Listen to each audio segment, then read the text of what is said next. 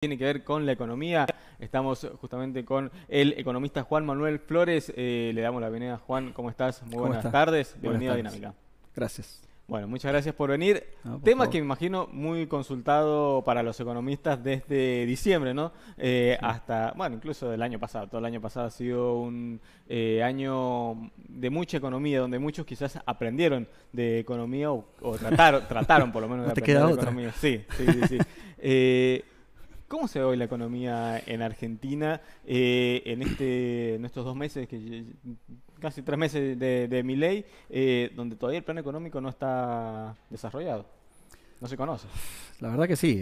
a ver, eh, uno tendría que recorrer estos dos meses que han sido muy intensos, dos meses y pico, muy intensos del gobierno. La economía está, podríamos decir, como con un coma inducido, en el sentido de que la actividad real está realmente paralizada, la economía está parada. Sí.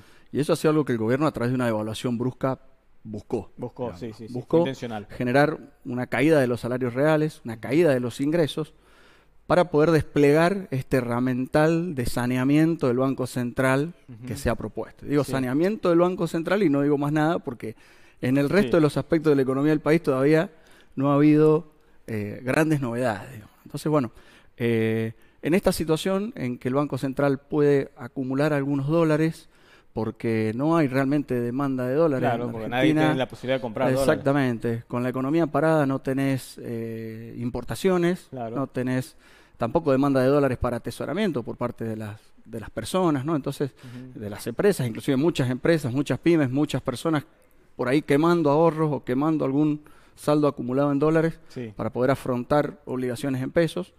Eh, y algunas otras para hacer algunas colocaciones financieras también en pesos, que es un poco lo que el gobierno está buscando en este, en este bimestre. Es decir, hay un plan de saneamiento del Banco Central por ahora, es lo que se visualiza, pero que todavía no se lo puede juzgar porque eh, la viabilidad del programa tiene que ver con que el paciente algún día se despierte de este coma inducido en el que está, digamos. No, no sabemos cómo va a reaccionar todo esto cuando cuando la economía empiece a funcionar, porque en algún momento el gobierno tiene que empezar a funcionar. Exactamente, y ahí empiezan a, producirse seguramente algunos desequilibrios. ¿no? Sí. Eh, en algún momento el gobierno nacional eh, planteó eh, que en seis meses, un año, año y medio incluso, se iba a vivir esta época de recesión, de esta inflación, para después empezar a repuntar.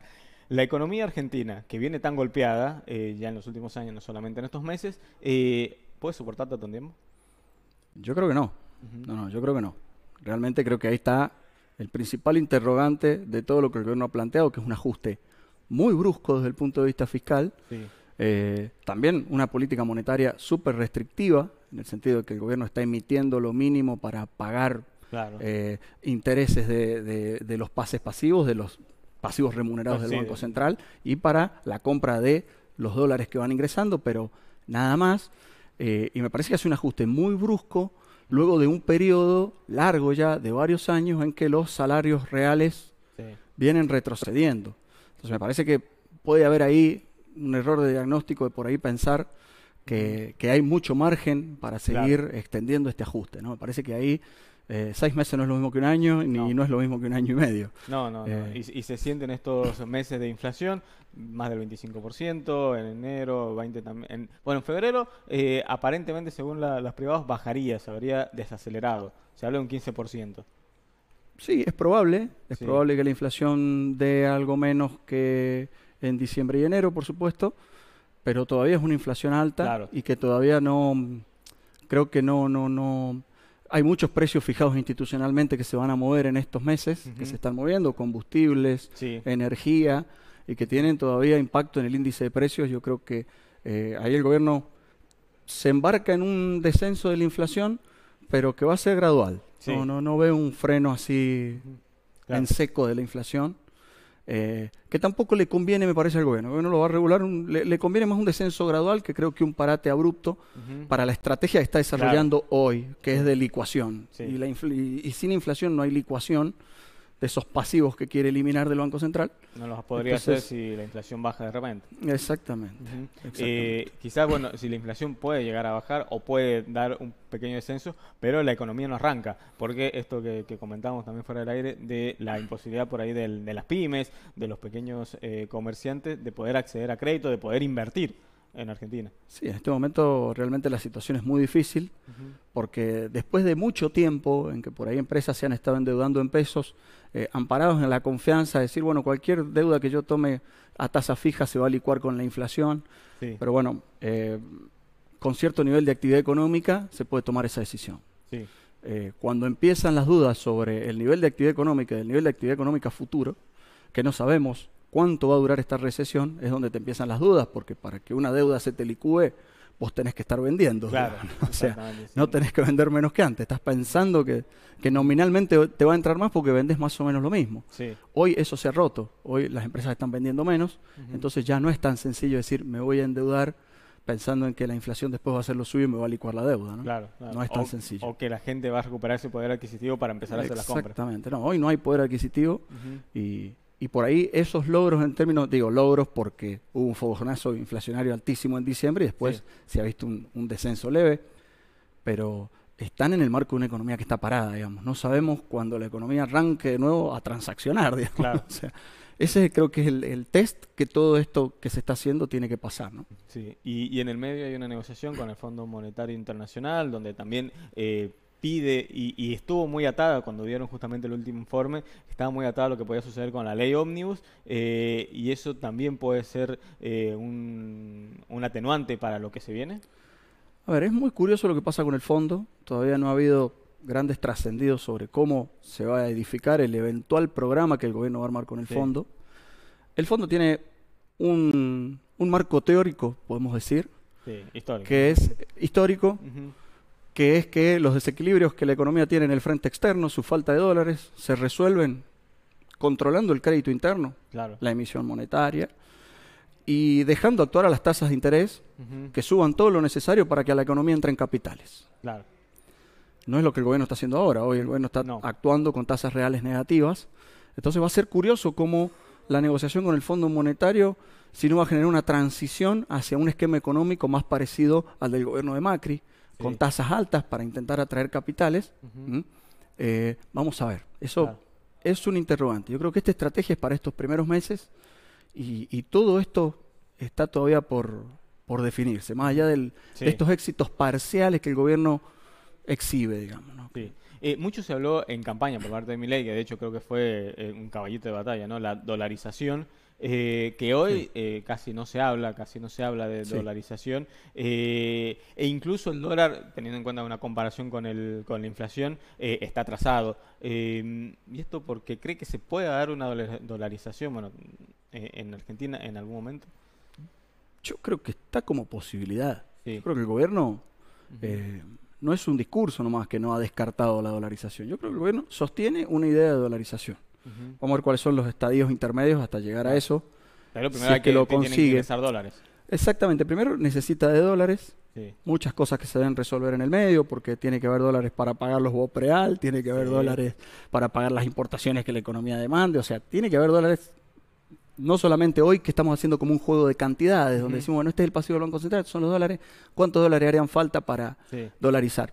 Eso es una discusión de cantidades. El asunto es cuando la economía arranca, y lo que implica la dinámica de una economía dolarizada. Me parece que esa discusión eh, no se ha dado correctamente, se ha hablado mucho de la factibilidad o no de poder o no hacerla la dolarización. Y a lo mejor en algún momento el escenario se presta para hacerlo. El gobierno ve la oportunidad de dolarizar. Pero me parece que hay eh, una serie de, de, impactos que genera una economía dolarizada, que es una economía mucho más vulnerable a shocks externos. Exacto. Eh, ya lo hemos vivido. con lo fue la guerra en Rusia, por ejemplo. Ya lo hemos vivido y lo vivimos durante los 90. Durante los 90, que si bien no era una economía dolarizada, pero sí era una economía eh, bimonetaria, con una regla monetaria súper dura. Y, las conferencias de prensa de Caballo durante la crisis del tequila en México, porque cualquier situación que te genere a vos una crisis de confianza externa con salida de capitales, te hace perder dólares y te tenés que dar vuelta y decirle a la gente hay menos dólares. Claro. Hay que bajar los sueldos, hay que hay menos, digamos, ¿no? Que cuando el, gobierno tiene la posibilidad de hacer alguna política monetaria con moneda propia, puede a esos ciclos ir un poco suavizándolos, en la medida que lo haga en el largo plazo de una forma responsable, digamos, ¿no? Pero parece que eh, hay mucho todavía para, para discutir en torno a la dolarización. La posibilidad de hacerla, el gobierno la puede encontrar en algún momento. Si las cosas le salen bien, si los, si los exportadores, claro, deciden liquidar y tienen, deciden vender y liquidar, espectacular, le llenan de dólares el Banco Central. Entonces que es arriesgar mucho, pensar justamente que los exportadores liquiden en el momento preciso. Ese es la, bueno, ese es el primer test ahí de, lo que significa arrancar la economía. El primero va a ser ahora en abril, que arranca la cosecha gruesa.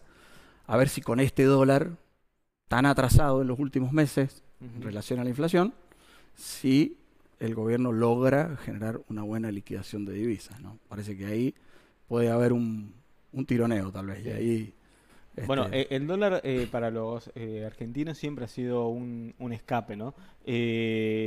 Eh, bueno, el año pasado quizás eh, con el dólar MEP, por ejemplo, que se dio una posibilidad de poder comprar mucho más barato, eh, en algunos casos el dólar blue, bueno, con todos los dólares en realidad que, había contado con Link, en algunos los que podían acceder, em, bueno, fue una opción para poder quizás un pequeño ahorro, hacerlo rendir mes a mes. también se dio quizás una opción para el acopio de compra de materiales de construcción y poder ahorrar em, o la compra eh, de, productos de, la canasta básica, quizás con tarjeta y pagarlo eh, al próximo mes poniendo la plata en plazo fijo o en los fondos como Moneymaker de, inversión. Em, eso se dio antes. Hoy parece difícil encontrar una forma de ahorro. ¿Qué, qué, forma justamente sirve eh, o existe, puede ser factible? ¿no? Sí, es una situación difícil porque el gobierno ha propiciado un escenario en el que busca que los ahorros se especifiquen. Sí. En el que busca darle a los inversores mejor rentabilidad o a los ahorristas mejor rentabilidad en pesos que en dólares. Claro. Y es lo que ha pasado. Más allá de que tenemos tasas que están por debajo de la inflación, pero están muy por encima de la tasa de devaluación que se viene dando del 2% mensual. De manera que eh, si uno analiza estos últimos meses, seguramente ha rendido más tener un instrumento en pesos que estar anclado en dólares, que el dólar ha estado quieto. Sí. Eso es algo que que el gobierno ha propiciado, pero eso, bueno, eso, la jerga financiera es, el carry trade con la inflación. claro, eh, pero bueno, el, interrogante es abril, porque yo digo, eh, hoy en día la economía ha perdido mucha competitividad, la economía se ha puesto muy cara en dólares, van a leer seguramente en noticias periodísticas y de opinión, van a hablar de la, de la inflación en dólares que hemos tenido, y eso me parece que por ahí un ahorrista hoy... Eh, va a encontrar en el cortísimo plazo mayor rentabilidad con colocaciones en pesos. Pero el tema es cuando este impasse de ordenamiento del Banco Central empiece a transcurrir. incluso, pero eh, todo el dinero que uno pueda eh, colocar en los plazos fijos eh, o en los fondos comunes de inversión, de todas formas, uno con la inflación que tiene no, no le sirve, digamos, mes a mes igual termina perdiendo, pero bueno, de alguna manera es una opción. Sí, lo que pasa es que en el mundo, a ver, cuando uno lo analiza esto, no necesita que la tasa de interés le gane a la inflación. Sí. Porque lo que, porque la alternativa es el dólar. Claro. Entonces, cuando vos tenés certeza en el largo, en el corto plazo o en el mediano plazo de que el dólar va a estar planchado, vos podés hacer un plazo fijo a 30 días. Te va a parecer que no le estás ganando a la inflación, pero vos quemás tus dólares, haces el plazo fijo, si tenés la posibilidad después de volverte a dólar, te has hecho una flor de ganancia en dólares y estás bien, digamos, desde ese punto de vista. Lo que pasa es que la inflación hoy afecta también al dólar porque el dólar está atrasado. Claro. El dólar se está atrasando. Como si está atrasado, se está atrasando. De hecho, hoy bajó el MEP, el contado con y demás. Esa, esa bicicleta, digamos, que, se hace con bonos, que se hacen con todos los instrumentos en, pesos, digamos, ¿no? Es algo que hoy está vigente, pero no sabemos cuánto puede durar. Entonces es difícil porque digo, eh, hoy en día, para, para dar un ejemplo así un auto inicio de gama de cualquier marca vale 20 mil dólares. Está carísimo. Está carísimo en dólares. Entonces la economía no tiene competitividad con este, con este dólar. Si en algún momento el gobierno decide acelerar este crawling peg, ¿no es cierto?, del 2%, decide acelerarlo.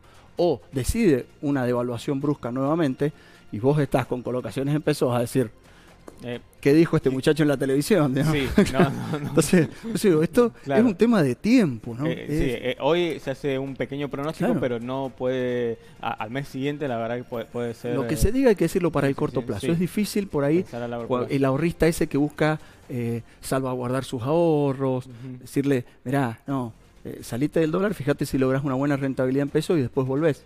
Sí, sí, sí. Es, difícil eso. y es algo que también eh, se empieza a hablar, ¿no? Porque se, dio una devaluación en cuanto al dólar. Eh, ¿se, puede pensar en una devaluación a, a corto plazo? Ah, se habla de julio, por ahí, en junio, en agosto. ¿Se puede pensar eso?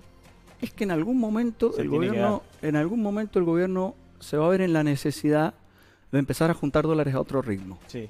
Porque mucho de lo que se está haciendo eh, va a demandar dólares en el futuro. Por ejemplo, las deudas con importadores. Sí.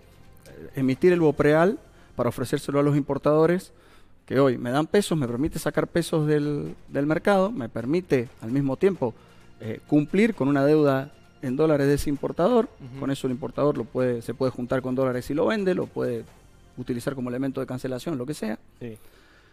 Y eso resuelve en cierta medida la deuda de importadores. Pero eso son dólares que en el futuro va a haber que tener porque son bonos en dólares que hay que claro, pagar. que en algún momento hay que pagar. Entonces, cuando el gobierno se empieza a ver en la necesidad realmente de eh, acumular dólares a otro ritmo, o de que las arcas del banco, porque eso es un instrumento del Banco Central, real, cuando el Banco Central empiece a necesitar dólares a otro ritmo, y va a tener que tomar las medidas cambiarias necesarias para generarlo. Por eso digo, eh, cuando la economía arranque, eh, es posible que, que las presiones sobre el dólar se empiecen a, observar. Por ahí. Eh, también, siempre cuando la economía se empieza a estancar, empieza a haber un peligro, hay rumores de corralito. Bueno, hoy eso sería difícil de pensar, ¿no? Sí, hoy, a ver, eh, yo creo que hoy es difícil de pensar en un, en un corralito, digamos. El ataque, hoy en día, el gobierno, en vez de atacar los depósitos, los está licuando. Claro manera que está haciendo el proceso mientras, al revés. mientras esté la herramienta de licuación, digamos, Corralito se dio en un momento determinado donde había un gobierno que estaba realmente determinado a sostener la convertibilidad a como de lugar. Eh, en ese contexto, digamos, eh, cuando el gobierno empezó a perder financiamiento, porque ya el nivel de deuda pública había llegado a un nivel tal que el gobierno se le había complicado para conseguir financiamiento, el giro fue hacia los depósitos. Yo en el corto plazo no veo una posibilidad de un corralito, porque este gobierno lo que está haciendo es retirar pesos del mercado. Muchos de esos pesos están yendo a parar al tesoro, porque hoy se reemplazan. vamos a ver el, vamos a hacer el camino que hacen los depósitos de los argentinos en este momento, para que lo tengamos un poco. nosotros hacemos un plazo fijo. Con ese dinero, el banco suscribe un pase pasivo con el Banco Central. Cuando ese banco, cuando el Banco Central quiere bajar los pases, porque eso es lo que están haciendo ahora, que es sanear, bajar el pasivo del Banco Central, le canjean al banco el pase por un bono del Tesoro. Entonces deja de ser deuda del Banco Central, pasa a ser deuda del Tesoro.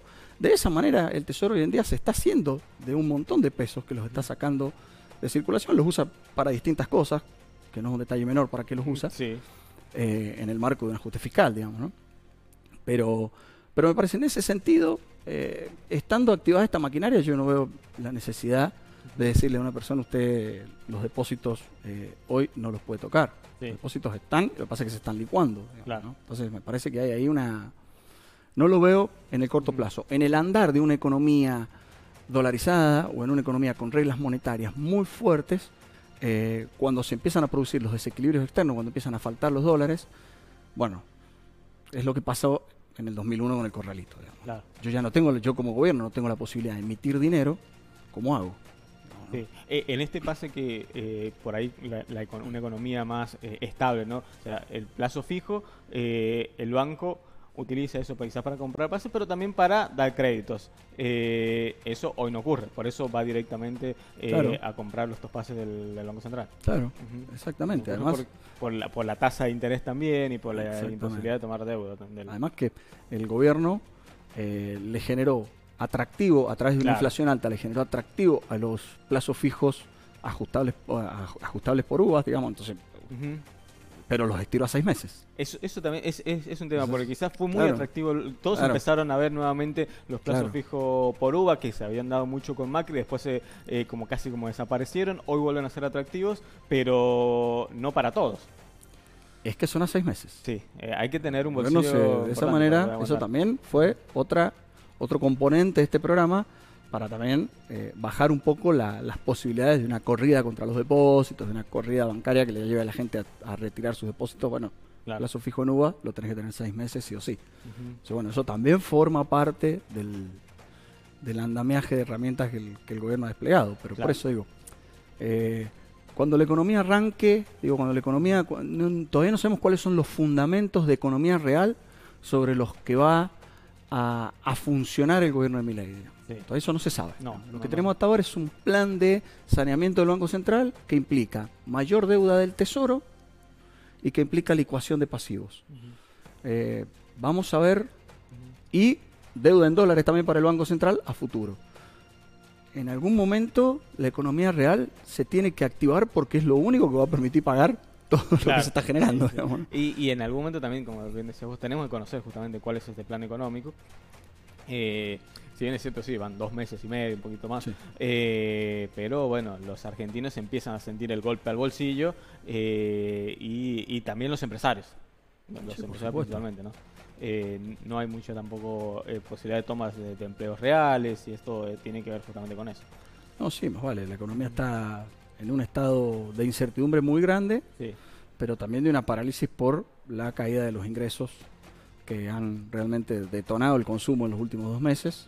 Y bueno, el propio presidente lo dijo, hemos hecho que, la gente ya no tenga no tenga pesos. Entonces, la verdad que es una situación eh, muy complicada, muy complicada la que se está viviendo, porque tampoco es que hay una bajada de un programa de gobierno más integral. No sé si la estrategia de la ley de ómnibus por parte del gobierno fue acertada. Parece que claramente no, porque no la logró. Eh, pero digamos. No, si, también mucho de esto estaba atado a lo que sucedía justamente con la ley ómnibus, con, eh, con lo que fue también el, decreto de necesidad de urgencia, bueno, eso también eh, dio un impacto político y económico.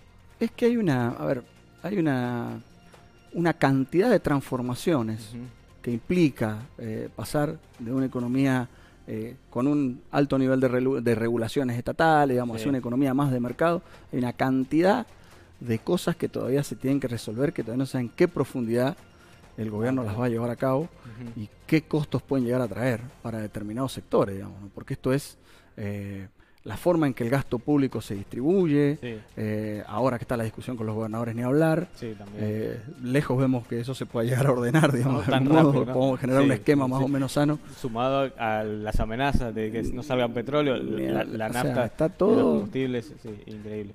Eh, bueno, para cerrar entonces, Juan, ¿qué se le puede decir hoy al, al sanjuanino que nos está viendo para poder no te digo llegar a fin de año, pero sí llegar quizás a fin de mes. Eh, ¿Dónde poder eh, recurrir quizás con, con, lo poco que pueda ahorrar o con eh, lo poco que puede acceder justamente a, las compras? bueno, a ver, hoy yo creo que el, el San Juanino no tiene muchas alternativas porque realmente la caída del salario ha sido realmente fuerte y hasta que, bueno, hasta que la inflación no baje un poco y ver si hay sucesivas recomposiciones salariales que pudieran un poco origerar esto, eh, es muy difícil hablar eh, de, cómo llegar a fin de mes para aquel que no lo está consiguiendo. La verdad que es, es matemática pura, realmente. Es, una dificultad, la, magia acá no existe, La magia en este sentido no existe, en términos de ahorro para el que pueda ahorrar. Y hoy en día seguramente vas a encontrar más conveniente instalarte en algún instrumento en pesos, si, si tenés, qué sé yo, cuenta en algún agente de bolsa o si podés comprar dólar MEP en tu banco, qué sé yo, bueno, gente que está más... Bueno, tratar de ir hacia algunos instrumentos en pesos para el corto plazo, pero sabiendo que en un horizonte de abril-mayo, yo diría... No más de eso. No más de eso, no más de eso. No, no, no, no me arriesgaría por ahí a tomar, eh, a inmovilizar, eh, a tener que hacer colocaciones en pesos más allá de mediados de año, porque realmente la incertidumbre sobre lo que está pasando es muy grande y las posibilidades eh, están totalmente abiertas. Muy difícil la economía real pueda arrancar con este nivel de competitividad tan bajo. Con este dólar es difícil que la economía real pueda arrancar, las exportaciones puedan arrancar. Eh, estamos en un momento, si abrís un poquito el grifo de las importaciones, eh, se va todo lo, Porque, claro, pues nosotros digamos, estamos estamos caros. Vamos a encontrar barato todo lo que venga de afuera. Exactamente. Entonces, eh, es una situación compleja. Y, Muy bien, Juan, agradecemos entonces por, por, venir. La verdad que ha sido muy claro. Eh, en esta economía que no es clara, para nada. eh, vamos a tener que estar invitando nuevamente porque, bueno, la verdad que eh, a los argentinos sanjuaninos que nos están viendo le interesa saber justamente cómo hacer para llegar a fin de mes y cómo ver esta economía que, que, tan difícil y que tantos eh, vaivenes tiene. Sí, por supuesto. Muchas Será un placer. Gracias. pasaba entonces Juan Manuel Flores, economista por Dinámica. Nosotros nos vamos a una pausa nuevamente y ya volvemos con más información. Dale, ya volvemos.